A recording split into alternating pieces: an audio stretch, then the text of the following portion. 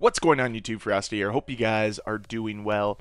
I wanted to move away from the general negativity that surrounds Call of Duty right now after this SM2 fiasco, and I wanted to talk about the last time Call of Duty was truly great in my opinion. Now this might be considered a bit of a hot take as I'm sure there are people out there that doesn't believe that Call of Duty has been good since like the Black Ops 2 era or Modern Warfare 2 and there's probably people that believe that Black Ops 4 or Modern Warfare 2019 was the last time Call of Duty was truly great. However, for me, it's going to be Black Ops 3. And the reason for that is because Black Ops 3 was in a very unique situation compared to any of its predecessors.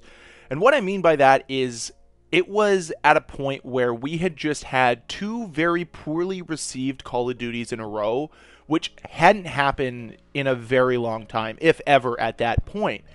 And Black Ops 3 also had to balance this innovation complex that the community had because at the time, the community was sick and tired of this rinse repeat formula that Call of Duty was going through, where it felt like there was no true steps forward year in and year out. We were just getting basically the same game in a different time setting. Does that sound a little familiar to you? Regardless of that fact, what Treyarch decided to do was take aspects of what worked in other games like Destiny and Titanfall and use it in Call of Duty and apply it to the Call of Duty formula. And they did it to perfection. They innovated, but not only did that, they also utilized the advantages of the Call of Duty formula to make an extremely fun game. They applied advanced movement. They applied the specialist streaks and they didn't tinker too much with the Call of Duty formula, so it felt naturally like a Call of Duty game. And I'm sure people have their gripes with Black Ops 3, but in all honesty, this project could have gone awry. It could have been the third Call of Duty in a row that failed to meet expectations. However, instead of doing that, it exceeded everything that the community had at the time we had these extremely high expectations because Treyarch was coming off of Black Ops 2, and frankly, Advanced Warfare and Ghost just didn't meet any of the expectations we had at the time. Then Black Ops 3 comes out and absolutely kills it. It is such a fun game to play. The map design is unique, the specialist streaks are fun, and the gunplay and gameplay overall is immensely enjoyable. And they were able to intricately apply the new movement mechanics within each and every map to make it work within the Call of Duty formula and capitalize on it. It was honestly wonderful to play. And I look back on it now so fondly because it was truly an experience. It was not like any other Call of Duty game, whereas at the same time it was. And that's what was so brilliant and beautiful about it was that I knew I was playing Call of Duty, but I was also mixing in elements from Titanfall and from Destiny into the game. And every time I played it, I felt that little bit of innovation, that little bit of change really made it to be a complete experience, a lot of fun. And I'm going to be honest here as well, the zombies in Black Ops 3 was wonderful. It was beautiful. It was awesome. I would love to go back and just grind zombies again like I did for weeks and weeks on end back in the Black Ops 3 era. But if I'm being honest here, Call of Duty has never reached this milestone again. It seems any time that we are met with high expectations, the game falls short by a large standard.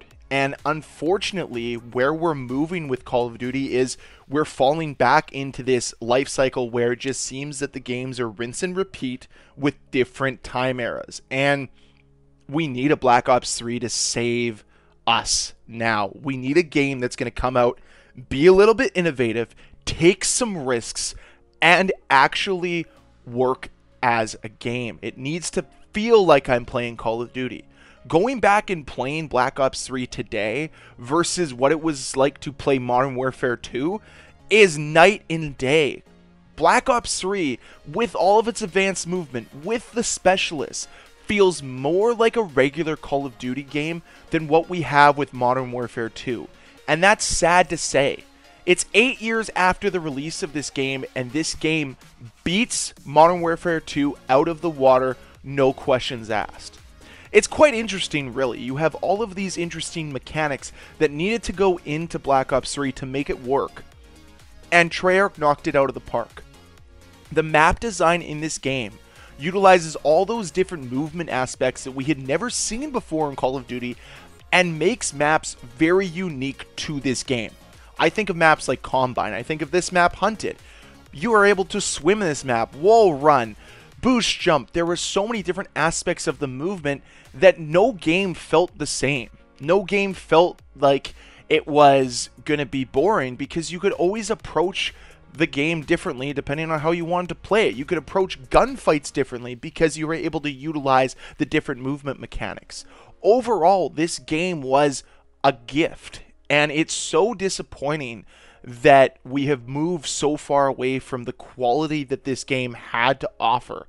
And we're now stuck with what we have today in Call of Duty, which is just frankly not good enough and constantly expectations that are being just not met. I'm hoping that Call of Duty can learn from its previous mistakes and that we can get another game like Black Ops 3 again. But what it's going to take is it's going to take a franchise that has been going off the rails to right the ship. It is going to take Activision to properly oversee what the developers are doing because I feel like Treyarch cared during the Black Ops 3 era and I just don't know if there's another development team that cared as much as this team did to make it a full successful game. And that's disappointing to say, but that's the truth. And I know I don't want to be negative because this is supposed to be an uplifting video, but watching this gameplay over again, I long for this. I would love to see Black Ops 3 get remastered, if I'm being honest, or another Black Ops 3S game with this type of movement. It worked. It capitalized on what worked in the Call of Duty formula and made it better with the enhanced movement and the specialist streaks. At the time, it may not have been received perfectly, but when you look back on it, it is one of the strongest games in the Call of Duty life cycle that we have ever seen. And honestly, it needs to be brought up more how unique this game truly was and how it was able to utilize its movement systems to enhance the Call of Duty formula. Anyways, I'd love to hear your thoughts of Black Ops 3 down below in the comment section. Please let me know what you think. And as always, guys, if you enjoyed this video, please hit that like button. If you want to see more videos from me, please hit that subscribe button. I'll see you guys next time.